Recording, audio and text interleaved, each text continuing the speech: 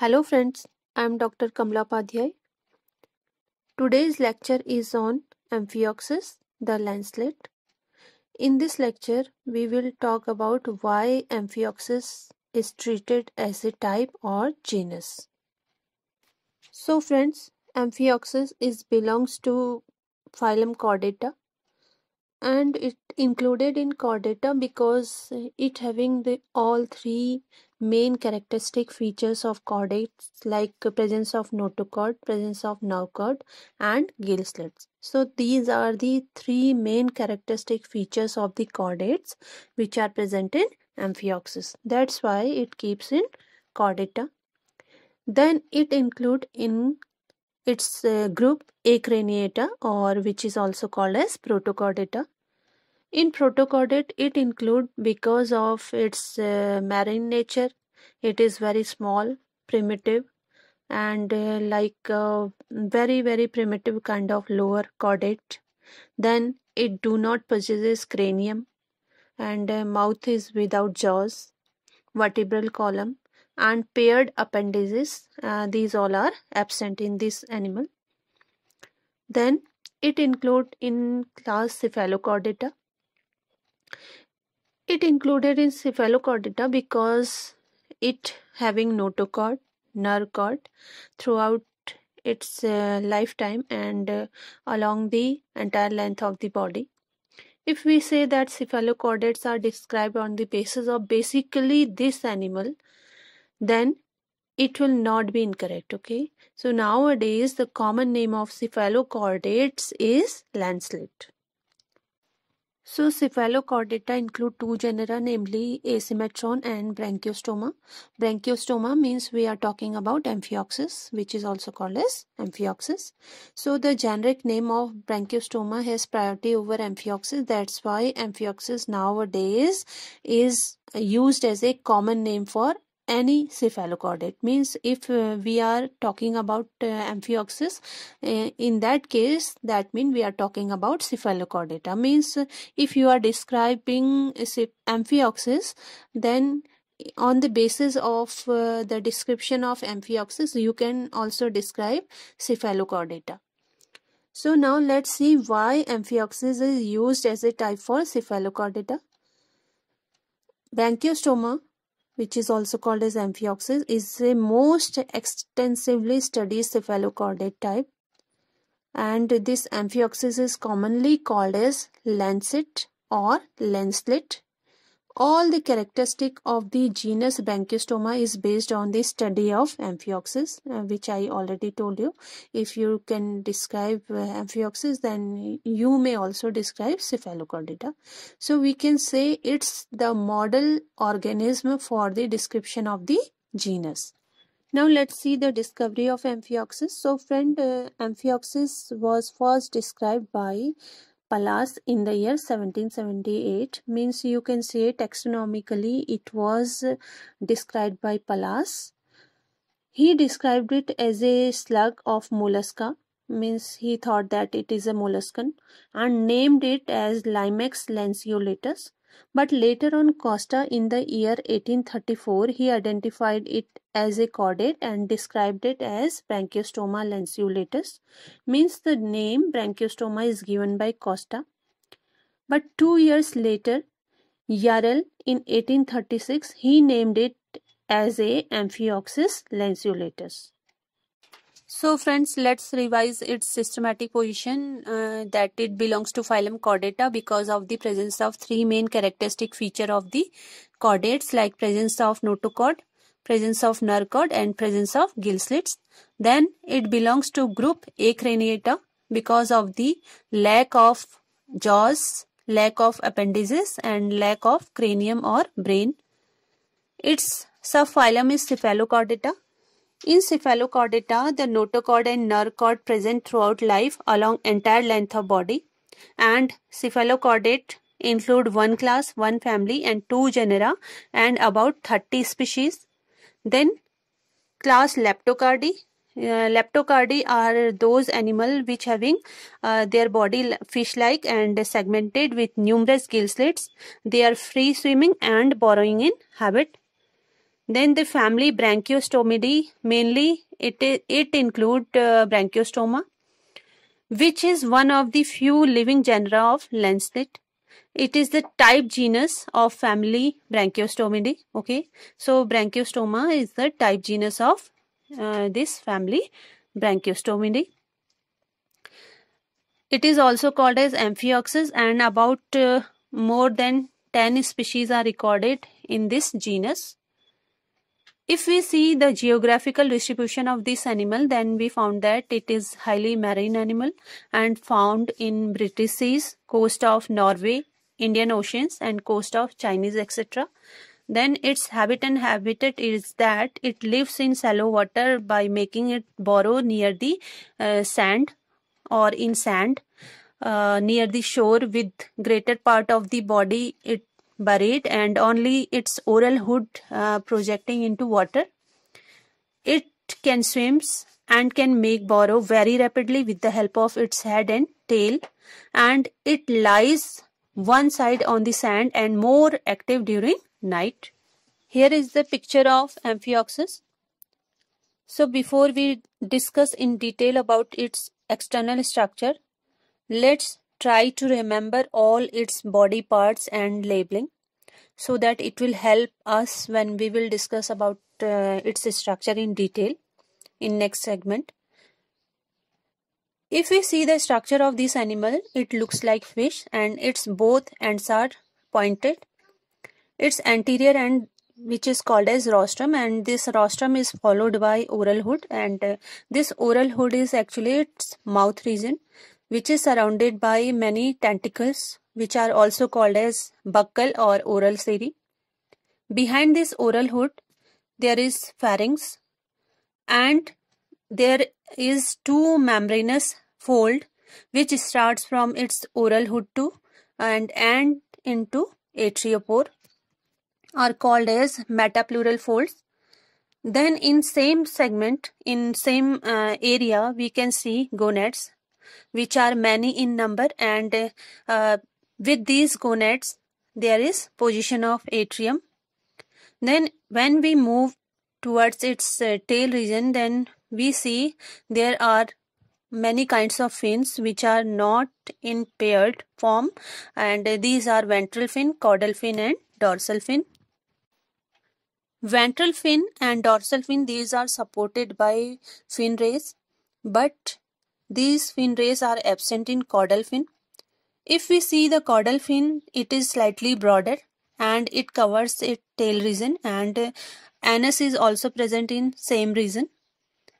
Then when we move towards its uh, dorsal side then there are V-shaped myocomata or myosepta which are followed by myotomes or myomeres and these uh, two structures are covered by or followed by dorsal fin ray boxes.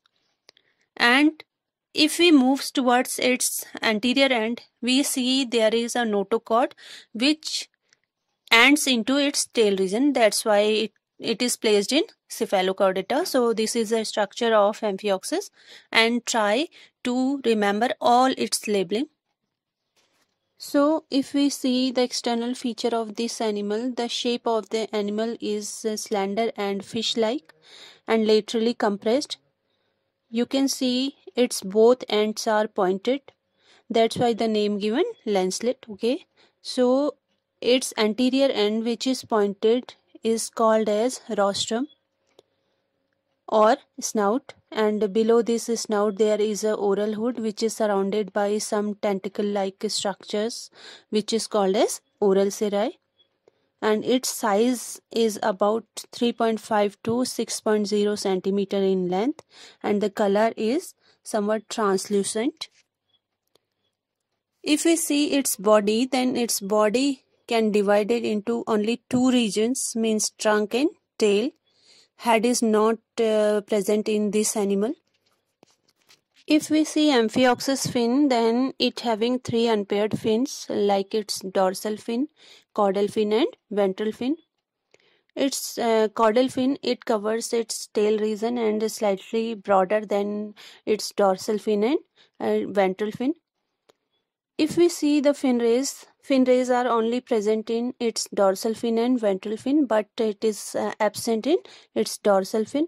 So the very important thing about uh, these fins is that the fin structure is not same as present in fishes.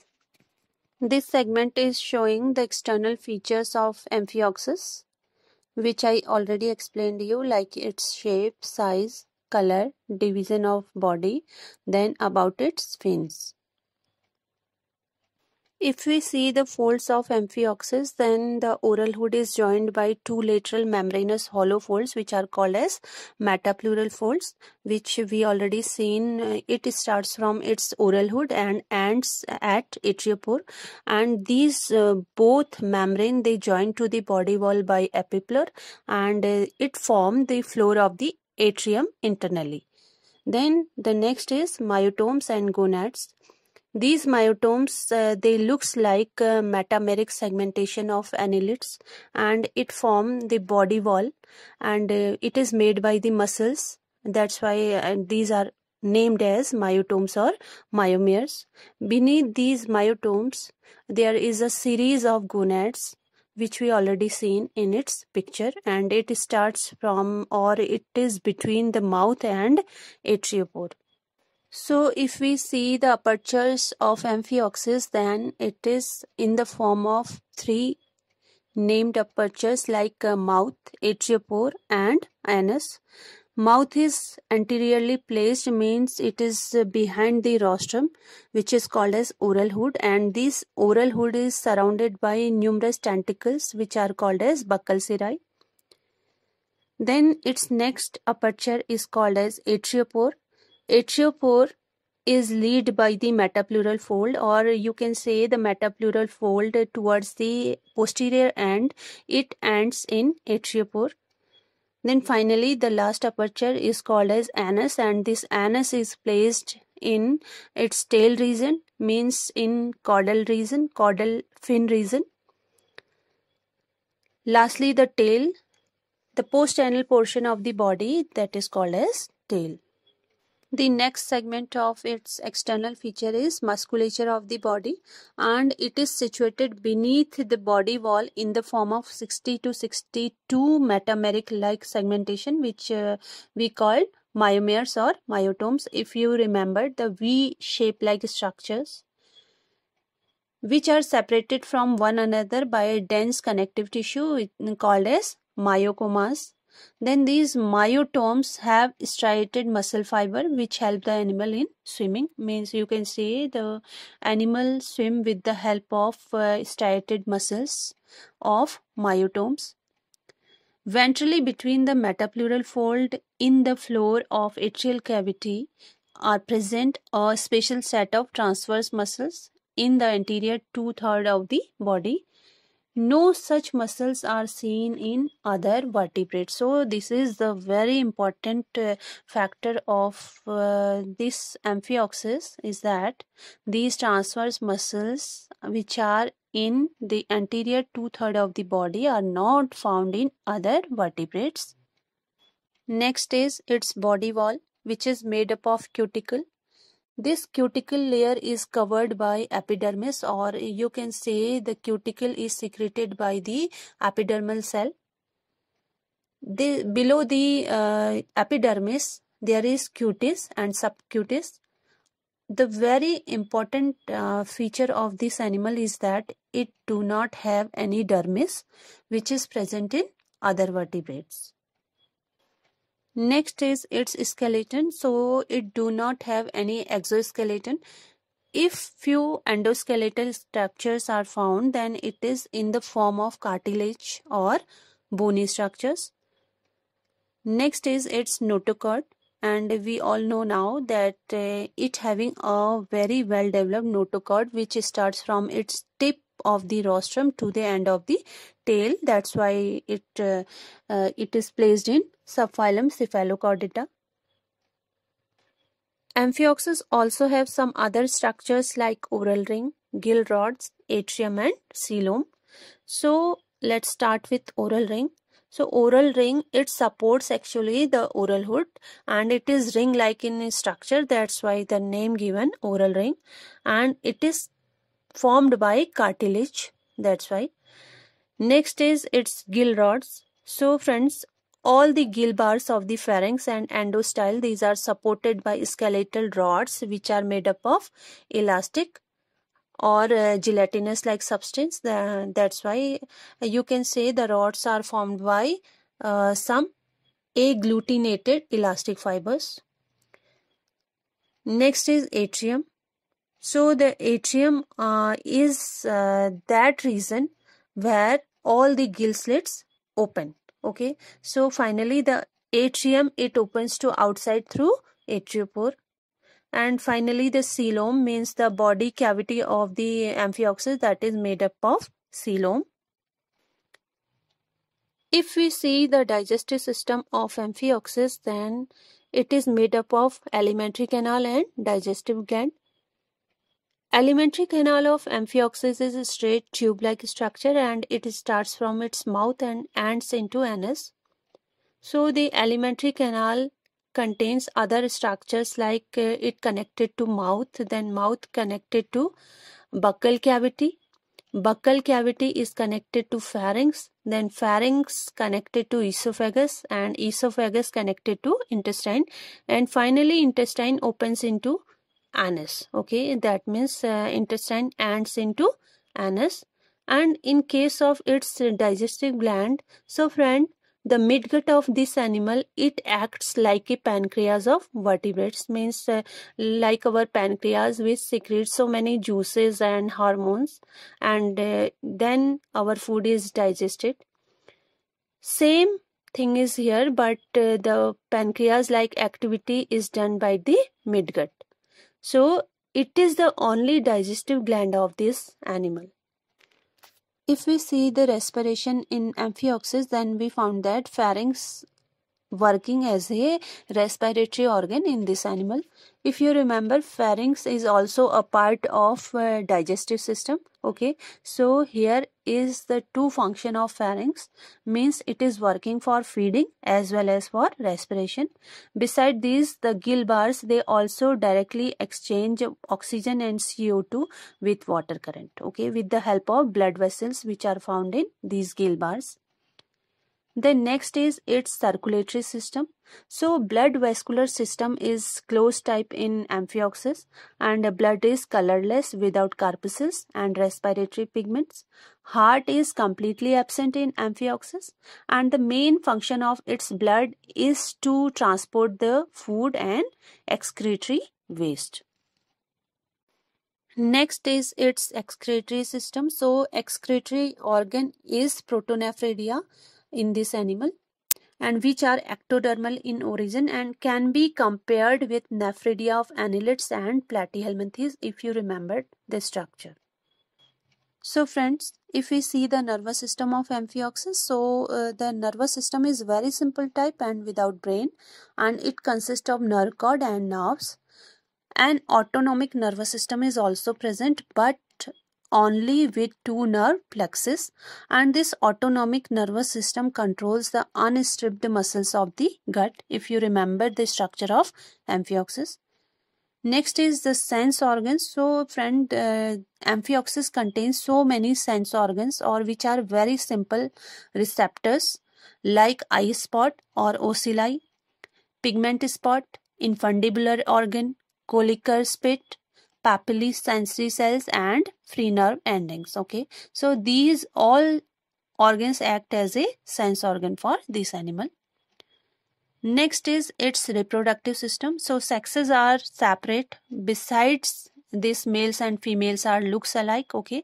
The sexes are separate but uh, both they look same okay? You can't uh, uh, differentiate them that it is male or it is female. So no sexual dimorphism. Gonads are either testes or either ovaries. Means uh, if there are gonads in case of testis okay then testis will be 26 pair. If the gonads are present in the form of ovaries then ovaries will be 26 in pair okay.